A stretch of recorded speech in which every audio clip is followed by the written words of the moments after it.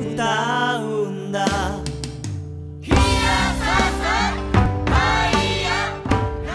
観光情報番組「読谷ラジオ」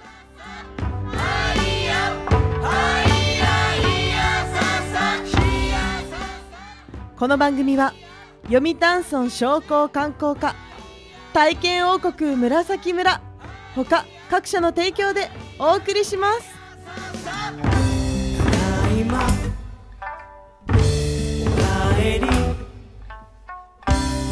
は何して遊ぼうか？空にはお日様僕らの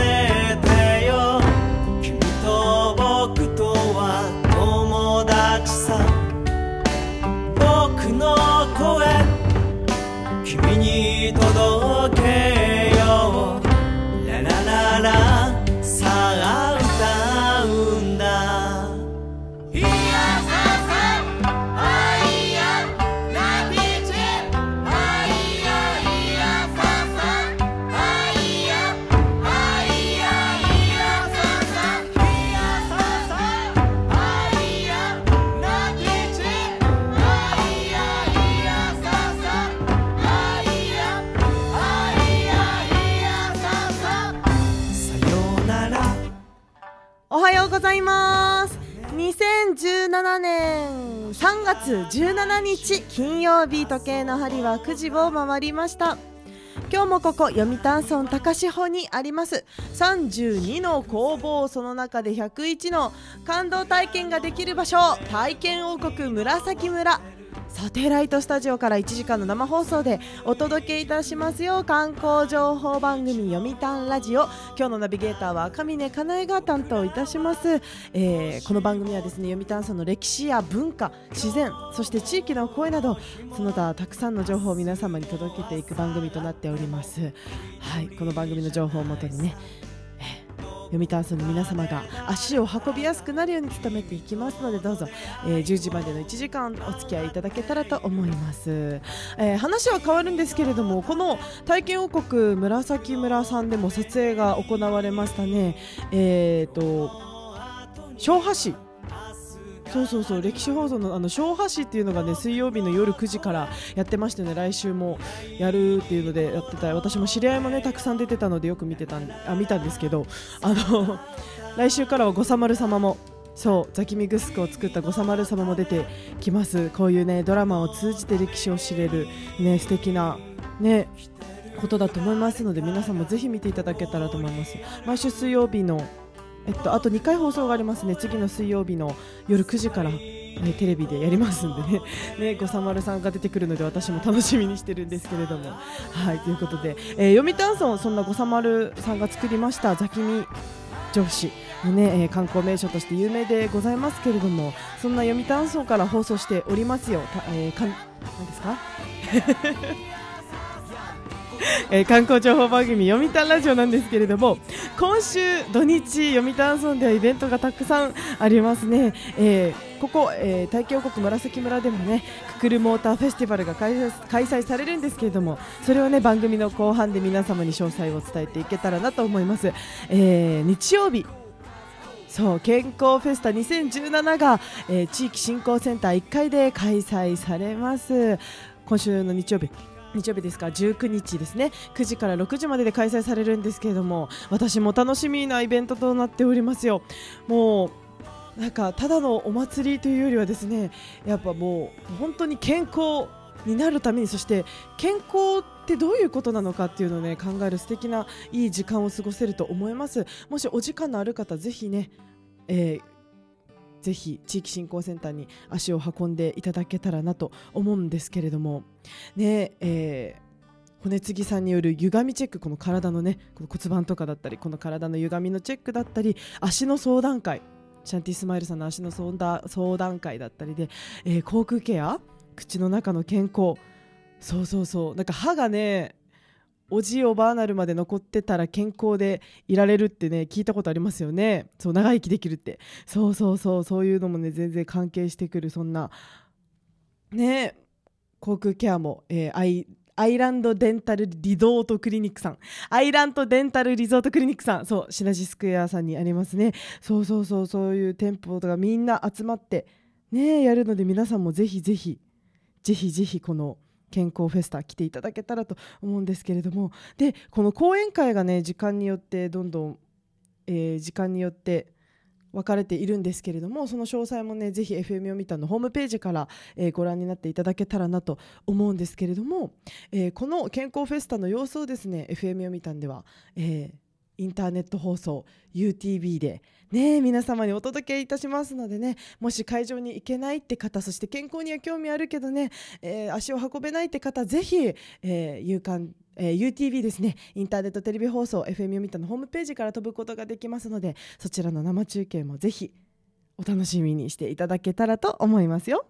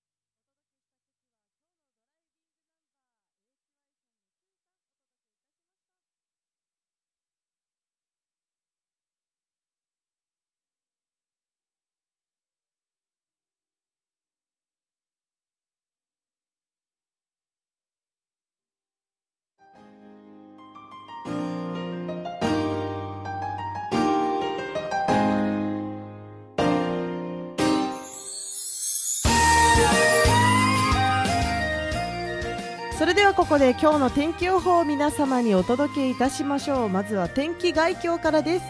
沖縄本島地方の沿岸の海域では17日朝からうねりを伴い波が高くなる見込みです。海上や沿岸付近ではうねりを伴った高波に注意してください。沖縄地方は気圧の谷の影響で曇っており弱い雨の降っているところがあります。北東の風のち東の風。曇りところにより夕方まで雨です。波1.5メートルのち2.5メートル。うねりを伴います。降水確率は夕方6時まで30% 6時以降は20%と下がる見込みとなっております。日中の最高気温は20度ですね。はいということで今日はちょっと曇り空雨雨雨。雨が降ったり降らなかったりそんな一日になりそうですよ。ちょっとね、えー最えー日中の最高気温20度ってことなんですけどちょっと風もね、えー午前中ちょっと強い感じがしますね。あの防寒対策しっかりして遊びに外に出ていただきたいなと思うんですけれどもいきなり降ってくる雨にもねぜひぜひちゃんと気をつけていただけたらと思います。ね明日もねえー曇りそして一時雨が降るところがあるでしょうという、えー何ですか予報が出ておりますのでね、えーちょっと曇り空でじめじめしてますけれどもね、え頑張っていきましょうね。はい ということで今日の天気予報皆様にお届けいたしました。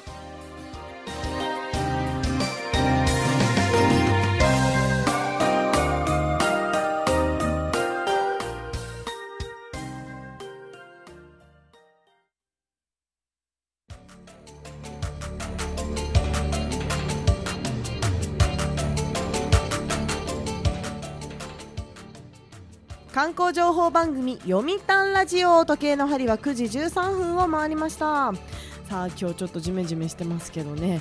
はい。観光で沖縄に訪れている方そして読谷村も今ドライブしながらこのラジオを聞いている方ぜひね、えーこのラジオを聞きながらね沖縄方言の勉強も一緒にしていけたらなと思いますよ、えー今日ご紹介する沖縄方言なんですけれども今日は、えーこういうちょっとジメジメした日というかなんていうのかなちょっと元気ない人に大丈夫？元気ね？って聞くときに使う方言皆様にねお伝えしようと思いますよ。沖縄方言で元気って聞くときチャーガンジューってご機嫌いかがですか？っていうときにチャーガンジューって聞くのでねぜひ皆さんこれ覚えていただけたらと思いますけれども。もし元気ない人とかいたら チャーガンジューって声かけてみてくださいね。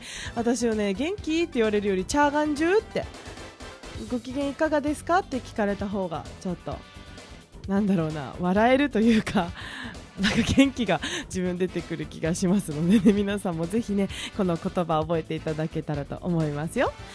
さあ CM を挟みまして観光情報番組読谷ラジオはまだまだ続きます、えー CM の後はですね読谷なんでも調査団の情報を皆様にお届けしていきますよ。CM の後も 78.6MHz よろしくお願いいたします。一旦 CM です。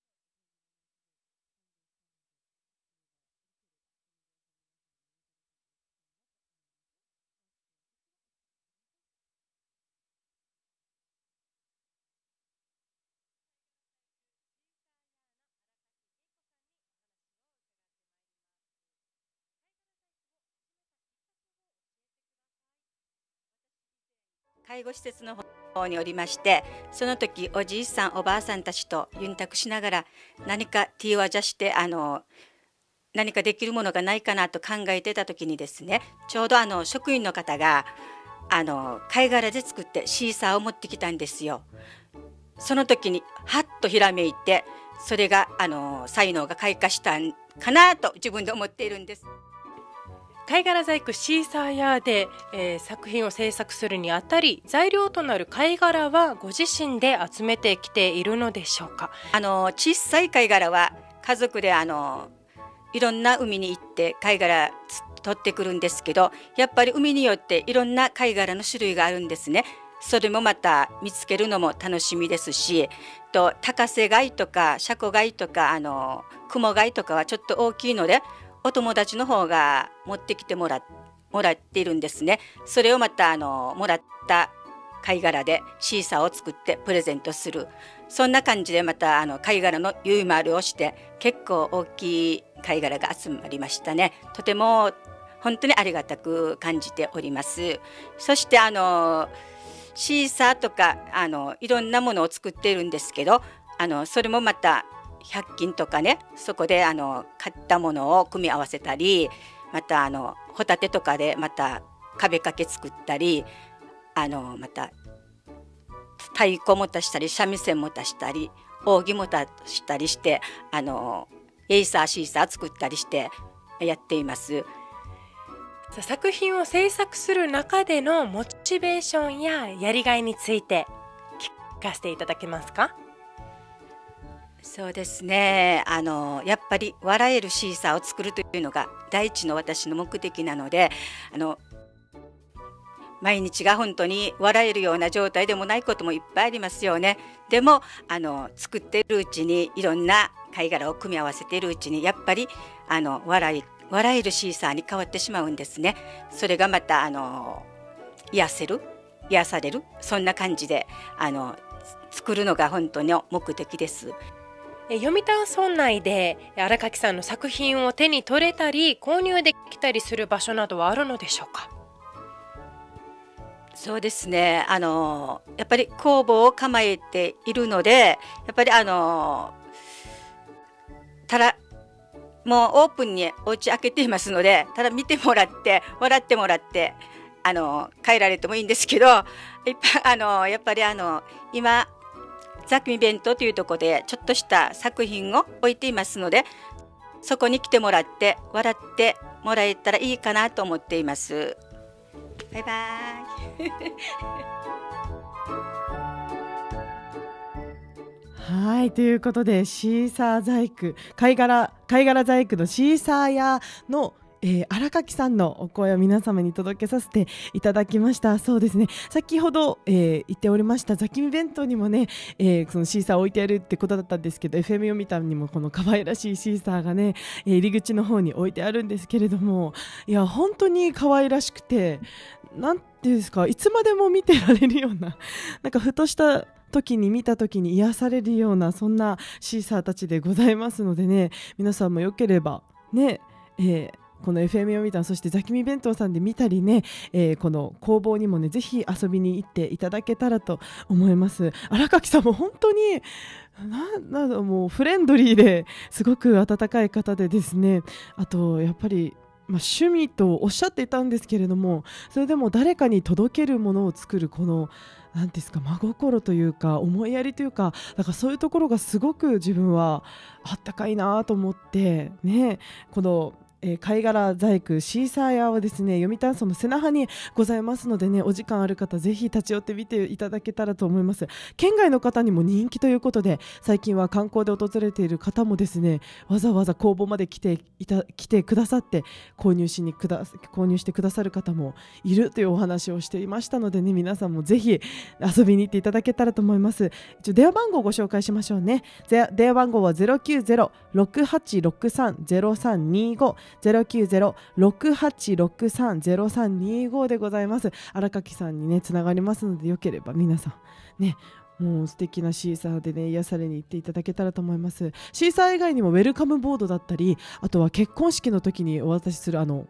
シーサーの親子のねそうそう置物とかもね、えっと、注文販売も行っているということなのでぜひ贈り物にいかがでしょうか。世界に一つしかないシーサー細工でございますのでねぜひ皆様はい。もう本当におすすめなのでね。はい。ということで今日の読谷なんでも調査団は読谷村瀬那覇にございます。貝殻細工シーサーヤーの荒垣さんのお声をお届けいたしました。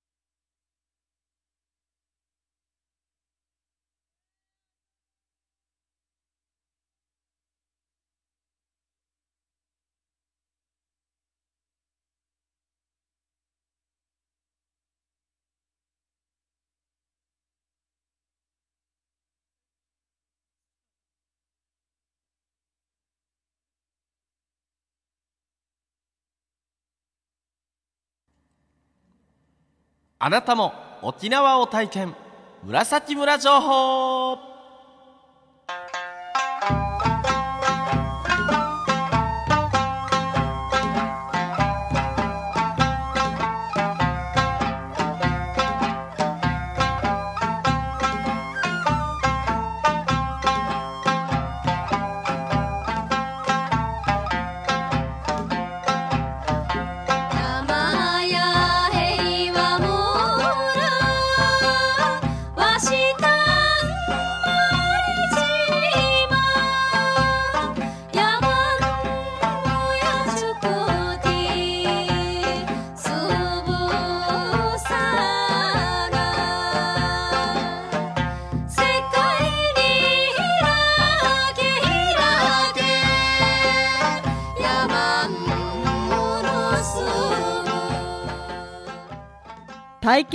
国紫村情報。華やかな王朝時代を築いた15世紀頃の街並みを再現してある場所。32の工房。その中に101の感動体験ができる場所を完備してあるのが体験王国紫村でございます。さあ今日もこのコーナーでは素敵なゲストさんをお呼びしております。それでは自己紹介お願いいたします。おはようございます。体験王国紫村国吉淳です。よろしくお願いします。ああ、じゅんさんお久しぶりですね。そうですね。元気ですか？はい元気ですよ。おかげさまで。おかげさまではい元気ですか、ああよかったです。ああよかったですとか言って。はい。なんか今日雨ですけど。そうですね。ちょっと天気が悪いですね。はい。悪いですけど。雨でも楽しめる紫村は。来ますよ。本日も朝9時からオープンしております、ねえもう今も始まっておりますのでね。そうそう。ぜひ雨いいですよね。逆に。そうですね。あの結構園内も、うんうん。あのまあ、石畳石垣そして赤瓦屋根が、うんうんうんあのみ建物すべてなってるんですけども、その赤瓦がちょっと雨にですね濡れた感じしっとりした感じもですねはい。大変あの散歩してて気持ちいいですのでぜひそちらの方も楽しんでいただきたいなというふうに思います。照れてるじゃないですか。いいですね。こんにちは。紫村楽しんでくださいねはいということで。そうですよね。雨の日でも楽しめる紫村ですもんね、そうです。えー今も観光客の方いらしてますけれども、本当にあのもう雰囲気というかね、はい。もう沖縄もうここでしか味わえないもう雰囲気とあとなんか空気感が自分はすごく好きですよね。素晴らしいですね。あ素晴らしいです。空気まで楽しめるってのは素晴らしいですよ。あはい。やっぱりなんかうん本当にタイムスリップしたような、気持ちになるのでぜひぜひ皆さん遊びに来てください。そして、なんかこの、ま、街並みを再現してあるだけじゃなくてね101の感動体験ができるのでやっぱ観光で訪れている方もそうでない方にもすごくおすすめだと私は思うんですけど、はいじゅんさん、じゅんさん、そうですね。じゅんさん、はい。もうぜひ ぜひ、皆さんに来ていただいて、はい、いろんな体験楽しんでもらいたいなとはい思います。はい、そう遊びに来てくださいね。はい。はいですね。これからは、はい、春休みにも入りますし。そうですよ。そうそそうですね。もう卒業式も終わっう。て、ねはい。お休み。えもう今の時期じゃないですか、ね。さあ、卒業旅行、お、みんなで楽しむぞ、家族で楽しむぞということでね。お、はい、ぜひ、ね読谷まで足を運んでいただけたらなと思います。ねやっぱ今週、まあ、イベントがたくさんある読谷村っていうのもあるんですけど、やっぱ3連休をね、利用してね、ですねぜひぜひ明日からは、はい、3連休ですね。さいよね。この時期の3連休楽しいですよね。うん、そうですね。なんか、あのー天気はちょっとわかりませんけども、うん気温はね、うんちょっとまた暖かくそうそうそうそう。なりそうっていう予報もあるみたいなので、外にお出かけしたくなるんではないかなと。思います。ぜひぜひ読谷村にも遊びに来て体験王国紫村もう天気に左右されませんから紫村は。そうなんですよ。まさに、はい。あのーまあ、マリン体験とかもですね、うんうんうんうん。はい、まだ沖縄も年中やってますけども、恐ろしいことに年中やってます。すごいですね。そうです。ただまあはい。冬のです、ちょっとこの北風強くなると、うん。えーマリンがやはり残念ながら今日はできませんってういう形になるんですけども、んうんうんうん。まあそういう時でも楽しめるのが紫村ということで、もうもうできないから何もできないっていうわけじゃなくて、うん。それをまた振り返ってですね、今度は園内でものづくり、はい、たくさんありますので、うん。急にこちらに来ても、はい、随時受付はしてますので、よ当日で大丈夫ですからね、はい。皆さん。予約しなくてもいいから。そうです。ねえ。まあ予約しないとできないものもありますけど。予約しなくてもはい 大丈夫です。ーいやでも予約しなくても、はい。なんかあのなんか十分に楽しめるイメージが自分あるんですけど、はい。ね。あの種類はたくさんありますのではい。そこからやりたいのがきっ101と見つかるんじゃないかなというふうに思います。はい。ぜひ皆さん楽しみにはい。来ていただけたらと思います。どうしますか？触れますか、そうですね。触れましょうか？じゃあ。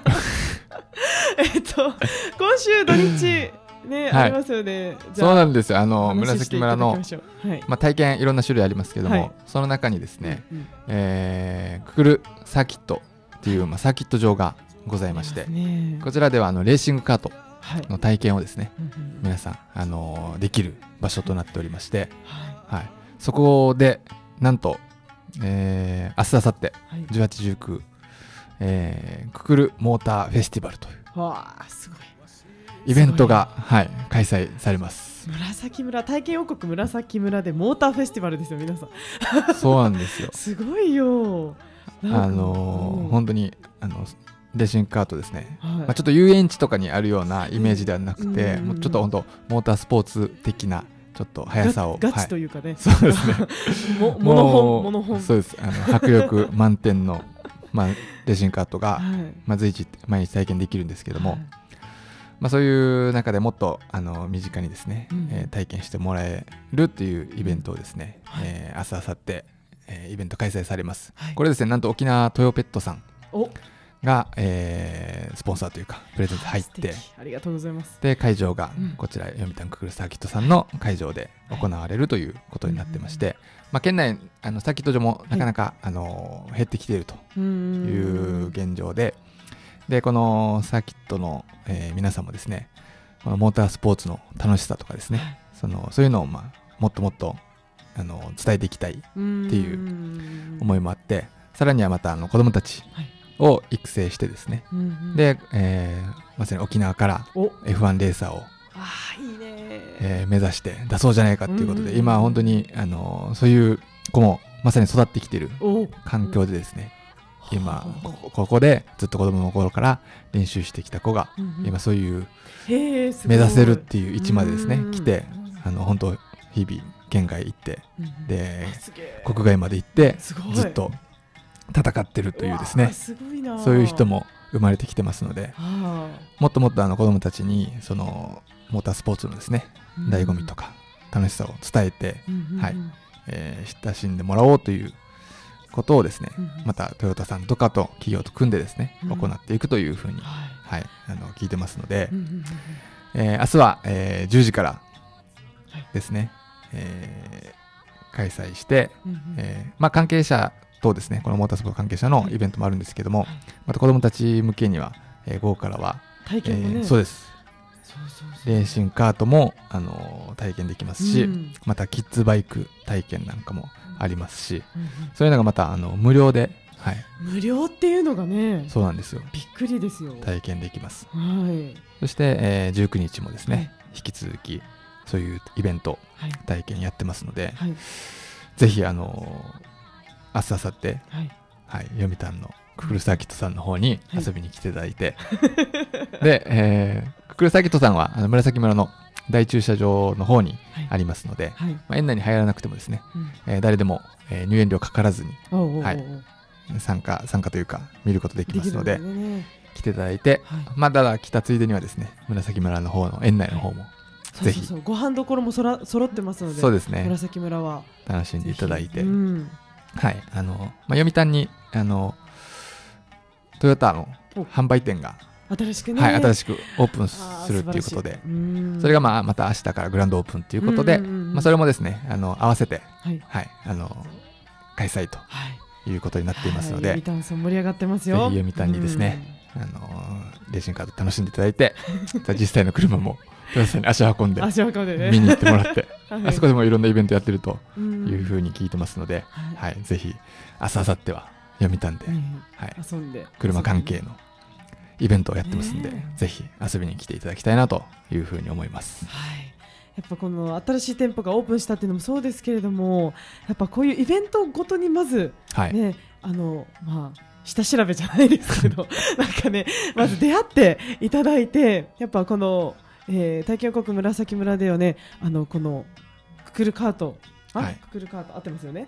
であのこのモーターの、えースポーツの体験もできるということであの県外からい。らっしゃってる方もたくさんいらっしゃいますよね、自分もすごいお会いお会いしてるというか、はい。なんかもうこここここんなスピード出せるとこ他にないですよって言って遊びに来てる人もよく見て、見かけていていや本当に魅力のある場所だなと思いますのでね、はい。ぜひ無料でね体験できまですきるイベントもも、はい、ありますので、はあいいよ。村無料はいいよ。いいよ。ぜひぜぜひひ。皆さん、はい、ね遊びに来ていただけたらと思います。ねはい。乗ったことあります？僕も、はい、乗ったことあります。よ。どどんなんなんですか？なんか。あのですね、あのやはりあの車体、車高が、まあ、ひくまずは低いので、ね。もう本当地面と、はい、もう同じ、ね。はい感覚ですので、あまあ、それだけでもあの視線が低くなって、はい、スピード感が増すというかですね。そうかそうか、はい、そして コーナーをいろいろ回りながら、うん。はい、スピード出してうん、あの ドキドキしながら。ドキドキしまねえしますよね、はい、楽しめる。またねあのお友達とか、はい。えー行くと本当にレースみたいな感じででね。はい、できますのでそちらもはい、楽しめるのかなというふうに思います。いや乗ってみたいな。やっぱもう私女性なんですけど、はい。女の方って結構こういうカートとかやっぱできる機会な機会っていうか自分からやりたいって思うことってあまりない気がするんですよね、だからこのイベントごとに合わせて、はい。家族で来てみたりとかそうですね。いいと思いますよ。やっぱ教えてくれる先生もねいるから安心してできますのでね、女性の方にもおすすめでございます。赤峰も乗りたいですね。えぜひぜひぜひぜひ。来て見ていただいて、ねはい。楽しそう。スピードいついいよいいっすよね。はい。もうここぜひぜね味わえないスリリングをぜひ。はい。時間が結構いっぱいいっぱいになってきてますけど。じゅんさん。はい。はい、はい、この週土日イベントたくさんですけれども、そうですね。よければラジオを聞いてる方にはい。一言いいですか？はい 二言でも。そうですね、はい。まあ3連休と明日からですね。ということなので、はい。ぜひまあ、えー読谷の方に遊びに来ていただきながら、はい。はい紫村までですね足を運んでいただいて。で本当にあのー先月でうん。終わりましたけども、あの琉球ランタンフェスティバルもですね、はい、皆様のおかげで無事に盛り上がりました、ね。終わりまして、はい、よかっえーまあ、琉球新報さんとかにもですね取り上げてもらいましたけども、うん。まあ、最終この約3ヶ月間で合計3万5千人の来た。場者。三万五千人。はい。ということですごい。本当に我々の予想を超えるたくさんのお客さんがですね。またアンケートとか見てると、うん。まあ、村内の方々も多いんですけども村外からもですねまた県外の方々も、えー来られてうん。また初めてっていう声もですねたくさん、えーありましたので。またこれをですね機会に次は、おはい、来年も、パワーアップしてですね、おえーやっていこうというふうには もうすでに動いて計画をですね立てながら動いてますのではい。えー来年あ今年来た方もですね、えーぜひまた次も次もね。あるということではい。冬は読谷へ行こうっていう、冬は読谷に行こう。っていうことで。はい。ぜひ楽しみにしていただきたいなというふうに思います、ありがとうございます。ただこれからは、はい、春休みゴールデンウィークそうですよ。夏休みっていうことでえー皆さんお待ちかねの休みが来ますよ。来ますので、ぜひそういうう時には読谷の方に紫村に遊びに来ていただきたいなというふうに思いますはい、素敵です。ありがとうございます。それでは今日も紫村からですね、国吉淳さんに来ていただきました。最後までありがとうございましたあ。りがとうございました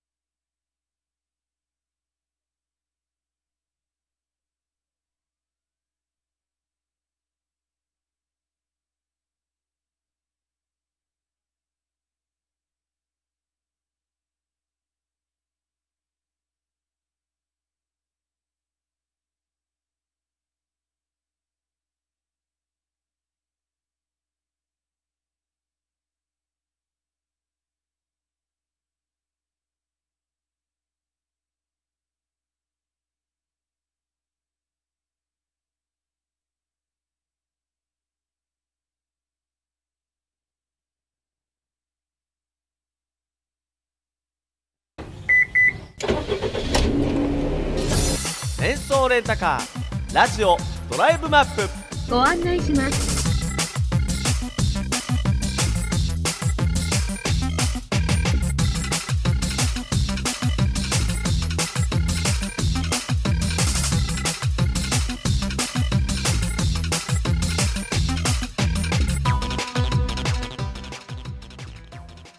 メンソーレンタカーラジオドライブマップ。このコーナーは沖縄県レンタカー協会賛助会員の FM 読谷がドライブマップを活用しさまざまな情報をラジオでお届けするコーナーラジオドライブマップ。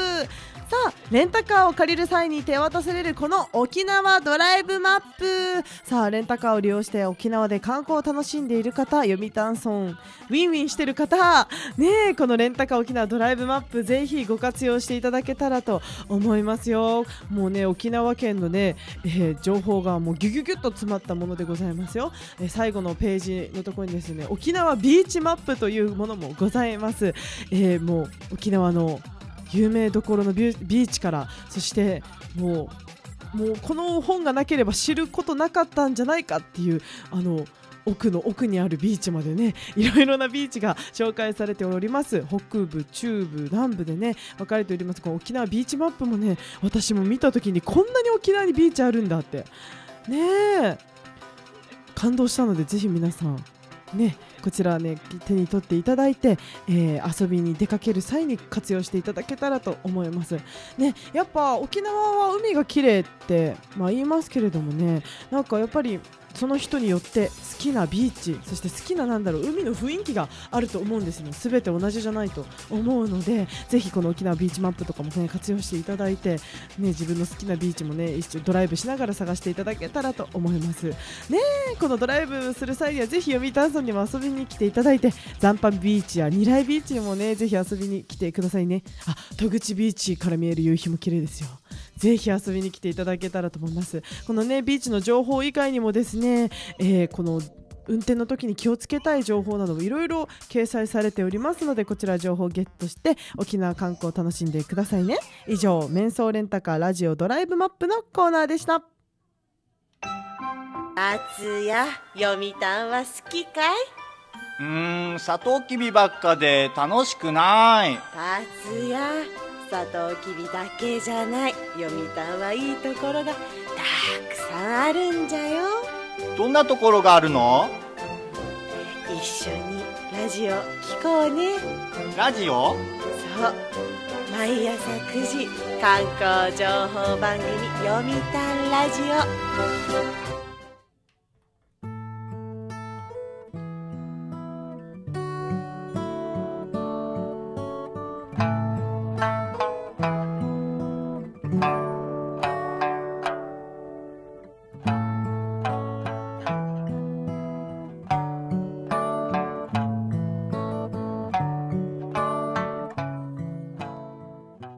観光情報番組読谷ラジオ時計の針は9時50分になりました。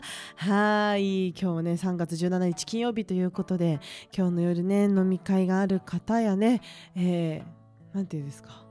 もう新年度もね近づいてきましたのでねはいいろいろね会社もお忙しかったりねする方もいるいらっしゃると思いますがもうこの時期になると春の旅行でね沖縄に訪れる方増えてくると思います。ぜひ読谷村のドライブそしてねもう読谷村本当にご飯が美味しいです。ねなのでぜひぜひ食べに来てね楽しんでいただけたらと思うんですけど先ほど、えー体験王国紫村情報でもねお届けいたしました、えーククルサーキットのねククルモーターフェスティバルがね今週土日開催されますのでそちらの情報もぜひゲットして読谷村ね観光を楽しんでいただけたらと思います。やっぱりね、うん、こういう機会がないと乗れないですしねぜひぜひもうねカートドリフトやあなんかカートドリフトがあんまりもうできなくなってるらしくて規制されててだからここのククルサーキットはこのドリフトの規制がされてないのですごい楽しく遊べるっていうこともね観光客の方がおっしゃってるのを聞いたことがあります。そういうね楽しいものが無料で体験できるのでねぜひぜひ遊びに来ていただけたらと思います。ねえやっぱりこういうイベントごとだからこそ遊びに来やすいと思いますよ。ねえぜひぜひ遊びに来ていただけたらと思います。はい。皆さん。なんだろう読谷村本当にイベントね今日冒頭でもごご紹ご紹介しましたが今週日曜日は健康フェスがね、えー地域振興センターの1階で開催されますけれども本当にイベントが盛りだくさんな村だと思います、ね、まだ来たことない方そして今来て来たけど何が楽しんだらいいかわからないって方ねぜひ、えーもうさっきご紹介したドライブマップもそうですけど FM 読谷に足を運んでみたりとかなんか、えっと、きな番所さんとかからはねいろいろ情報を知ることができます。歴史そして文化も素晴らしいあったかい読谷村をねぜひ楽しんでいただけたらと思います。ね明日からは3連休もありますのでぜひ読谷村で素敵な時間過ごしていただけたらと思いますよ。はい。それでは皆様最後までお付き合いありがとうございました。この番組は読谷村商工観光課ほ、えー、体験王国紫村ほか各社の提供でお送りしました。それでは皆様また明日もこの時間にお会いしましょう。またちゃよ君にラジオ届い